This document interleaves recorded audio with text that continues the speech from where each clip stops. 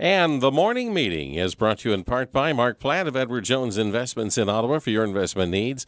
Talk with Mark Platt or Andrew Blackburn of Edward Jones, our neighbor over here at the corner of LaSalle and Lafayette Streets at the north end of Washington Square Park in beautiful downtown Ottawa. I'm Jay Lesueur. We still got uh, one item on our morning meeting agenda today, and that's going to be a conversation with Doc and, uh, Dr. Reagan Anderson here in just a moment about what we can expect if we're traveling this summer. Maggie Frost has some time to be in here for a little bit. Good morning. So.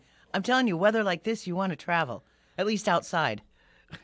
Oh, we, we, we should have taken the we should show, show, out on the sidewalk. Yes, we've today. done that before. Yes, we yeah. have.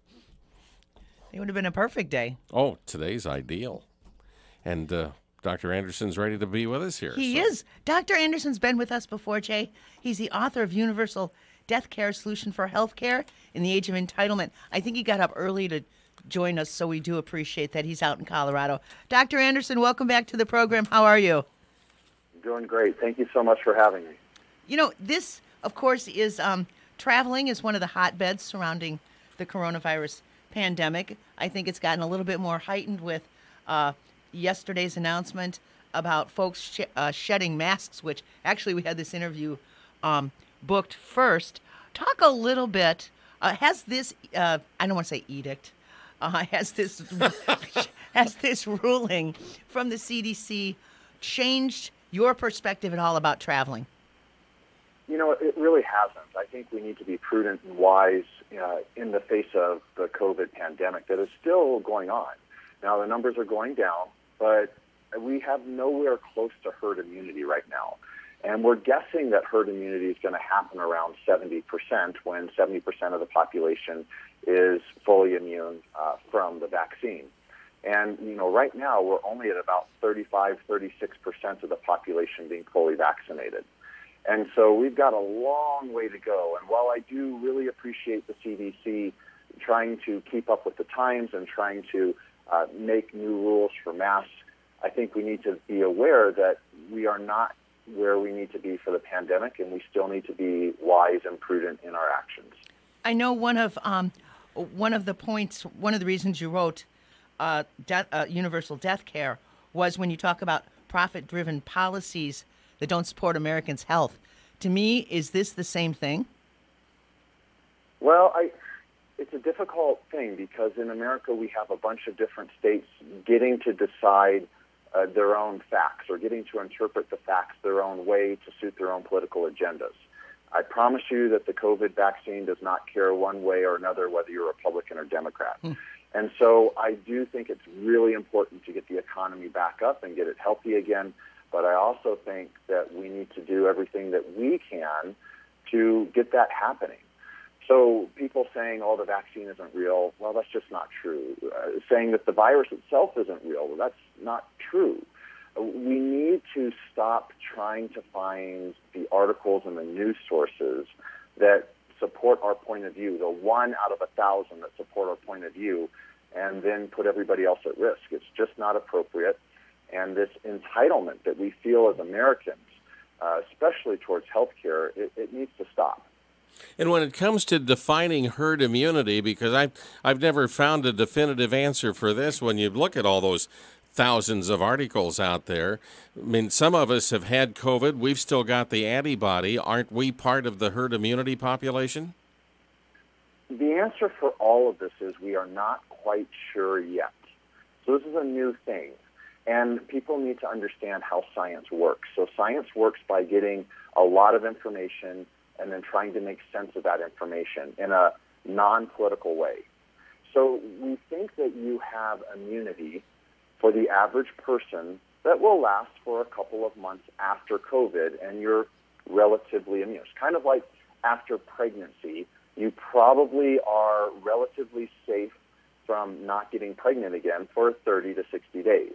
But everybody's a little bit different, and we all know this, and we all know that surprise pregnancies happen, you know, 20, 30 days after uh, a woman has given birth. The same thing is going to be true with COVID. There are going to be people who, after having COVID, will be immune from getting another uh, infection with COVID for six, nine, 12 months. And there are going to be some people who, a month or two later, are going to be able to get reinfected with COVID again. It all depends on your immune system, how bad of a case you had. There's multiple, multiple variables, nutritional status, other comorbidities. And so I think for people to just say, well, I had COVID eight months ago, I'm good forever, I think that's misleading. And until we actually are testing people's antibodies to see how how many antibodies they still have to COVID, I don't think that you can just rely on a uh, infection in the far past to say that you're immune. Now, here's the other thing with herd immunity.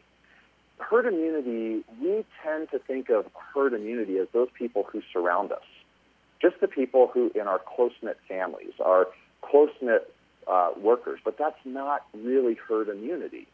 That's kind of like micro herd immunity. The, the real herd immunity is everybody around us in the entire community. And until the entire community gets an immunization or immunity rate of above 70%, and I personally think that with COVID, with the variants, it's probably going to be closer to 80%. We won't, will not really be quote unquote protected by herd immunity until we get up to those higher numbers. With those higher numbers, how can we have any confidence in that given the fact that the virus, we've seen instances where it has mutated? I would have to expect there will be more mutations. How do we get a, a, com- a level of comfort about the, the rest of the population in our community? Well, that's the whole thing. You, you don't. So you don't say, hey, everybody else on the road is going to drive safe, so I'm going to uh, text and do my hair and read a book at the same time because everybody else is going to protect me. No, you keep your eyes on the road. You keep your head on a swivel and, and you practice defensive driving. We need to practice defensive medicine uh, right now, each and every one of us. We have to assume that the person that we're walking next to in the hall or in the grocery store or wherever is horribly immunocompromised. And if we don't do our part to get the vaccine, we could literally be the vector of an infection that kills them. So the, the point is, guys, please don't just lower your guard. Yes, we are loosening some restrictions as more and more data comes out and as more and more uh, people get the vaccine. But that doesn't mean that we get to say, woohoo, we're all good, we can do whatever we want. That's just not smart. The other thing that I would say to people is, you know, to be a good driver, you have to have the information on what all the rules are. All everybody, everybody in America has been asked to become uh, an infectious disease doctor in the last uh, in the last year.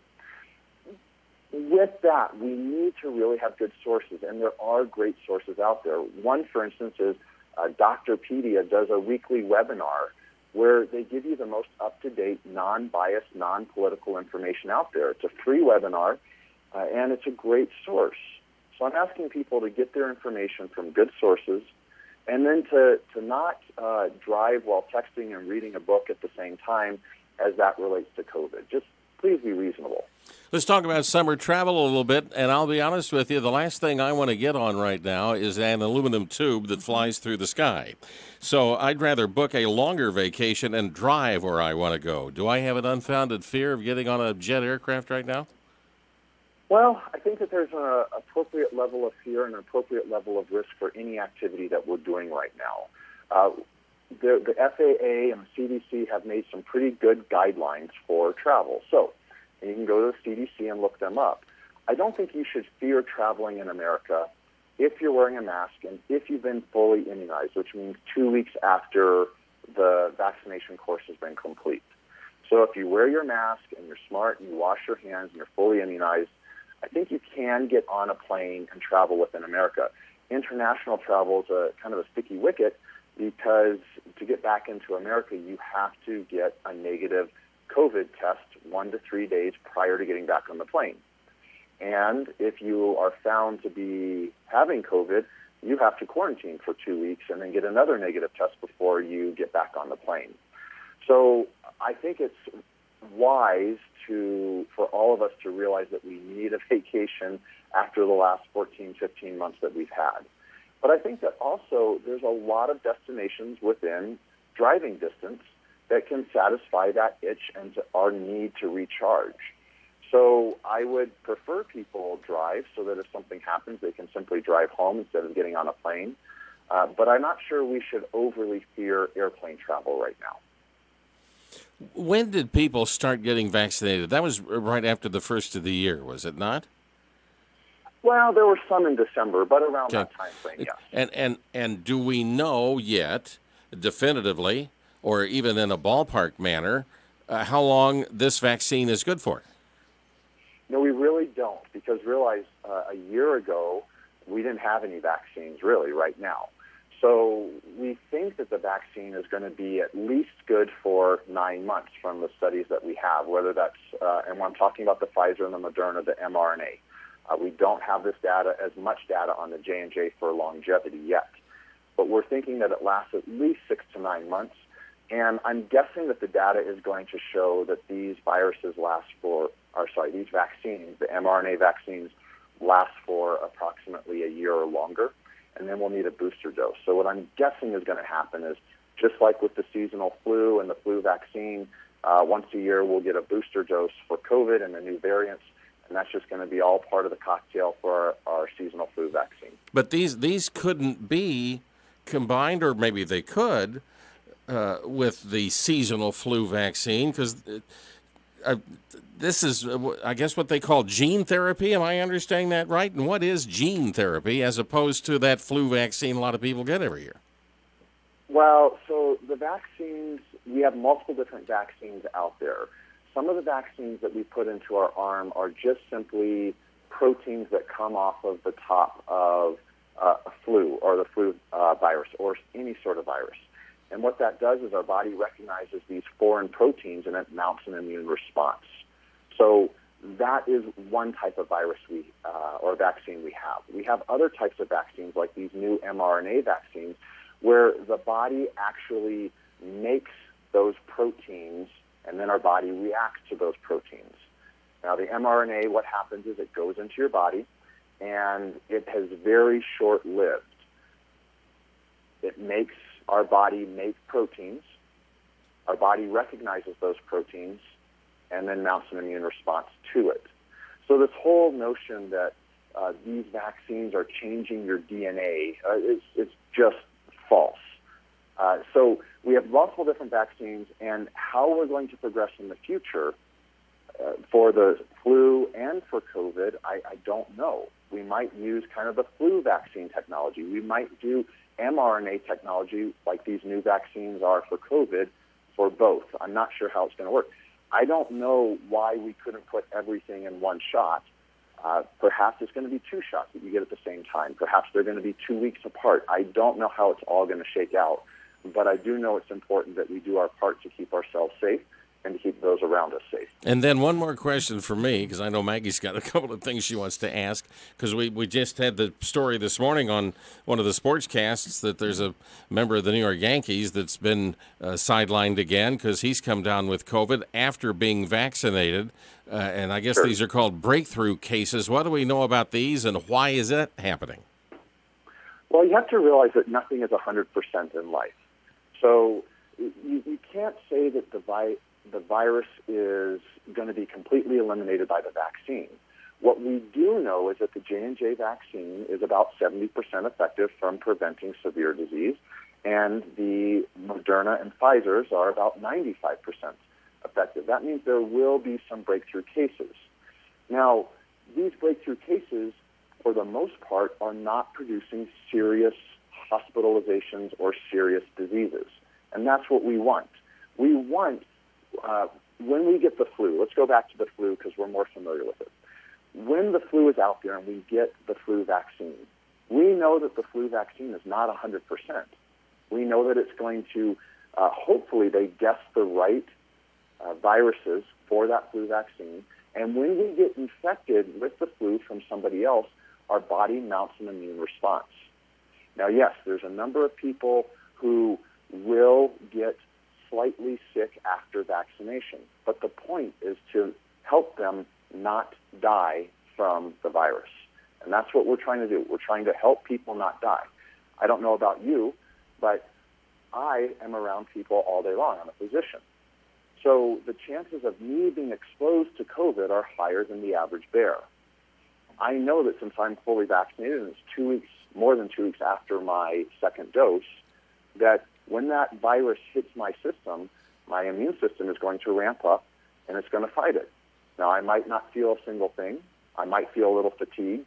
I might feel a little sick, but I should not statistically be so sick that I'm dying in the hospital. Does that make sense?